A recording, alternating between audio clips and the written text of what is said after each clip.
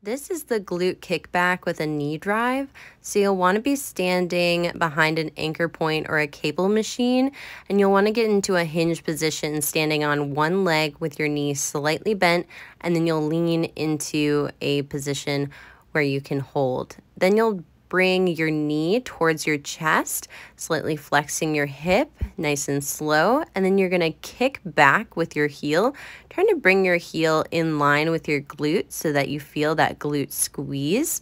You wanna bring your knee forward nice and slow, and then you'll powerfully kick back, squeezing that glute again, straightening that leg as much as possible without letting your leg rotate out or your knee lock.